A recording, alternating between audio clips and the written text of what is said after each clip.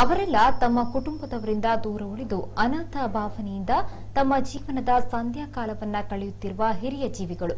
ಅವರು ಬಯಸಿದ್ದು ತಮ್ಮ ಕುಟುಂಬವನ್ನಲ್ಲ, ಬದಲಾಗಿ ತಮ್ಮ ಜಿಲ್ಲೆಯ ಒಬ್ಬ ಅಧಿಕಾರಿಯನ್ನ. ಇಂತಹ ಹಿರಿಯ ಜೀವಿಗಳ ಆಸೆಯನ್ನ ಅಷ್ಟೇ ನಿಷ್ಠೆಯಿಂದಲೇ ಆ ಅಧಿಕಾರಿ ಪೂರೈಸಿದ್ದಾರೆ. ಹೌದು, ತಮ್ಮ ಸಹಕಾರಿ ಮನೋಭಾವನೆ, ಖಡಕ್ ಕರ್ತವ್ಯ ನಿಷ್ಠೆ ಮಾನವೀಯತೆಯಿಂದ ಮಿಡಿಯುವ ಹೃದಯ ಇವುಗಳಿಂದಲೇ ಜಿಲ್ಲೆಯಲ್ಲಿ ಅಷ್ಟೇ ಅಲ್ಲದೆ ರಾಜ್ಯದಲ್ಲೇ ಸುದ್ದಿಯಲ್ಲಿರುವ ಎಸ್ಪಿ ಅಣ್ಣಮಲೈ ಮತ್ತೊಮ್ಮೆ ಮಾನವೀಯತೆ ಮೆರೆದಿದ್ದಾರೆ.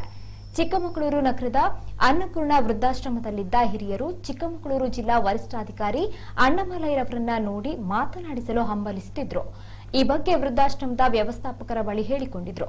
ಈ ವಿಷಯವನ್ನ ವೃದ್ಧಾಶ್ರಮದ ವ್ಯವಸ್ಥಾಪಕರು ಎಸ್ಪಿ ಅಣ್ಣಮಲೈಗೆ ತಿಳಿಸಿದ ಕೂಡಲೇ ಅಣ್ಣಮಲೈ ವೃದ್ಧಾಶ್ರಮಕ್ಕೆ ಭೇಟಿ ನೀಡಿ ಹಿರಿಯ ಜೀವಿಗಳನ್ನ ಸಂತೈಸಿದ್ದಾರೆ. ಇನ್ನು ಅಣ್ಣಮಲೈ ಬರುವ ವಿಷಯ ತಿಳಿಯುತ್ತಿದ್ದಂತೆ ಹಿರಿಯ ಜೀವಿಗಳಲ್ಲಿ ಅದೇನೋ ಉತ್ಸಾಹ. ಎಲ್ಲರೂ ಅವಸರದಲ್ಲಿ ರೆಡಿಯಾಗಿ ತಮ್ಮ ನೆಚ್ಚಿನ ಅಧಿಕಾರಿಯನ್ನ ನೋಡಲು ಹಂಬಲಿಸುತ್ತಿದ್ರು.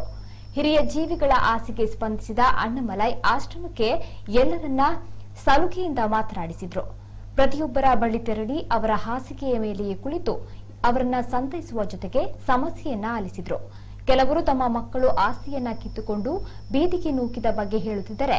ಇನ್ನು ಕೆಲವರು ಸಂಬಂಧಿಕರು ದೂರವಾದ ಬಗ್ಗೆ ಅಣ್ಣಮಲೈ ಬಳಿ ತಮ್ಮ ಕಷ್ಟವನ್ನ ಹೇಳಿಕೊಂಡ್ರು. ಇದನ್ನ ಕೇಳಿ ಅಣ್ಣಮಲೈ ಕೆಲಕಾಲ ಭಾವುಕರಾಗಿದ್ರು.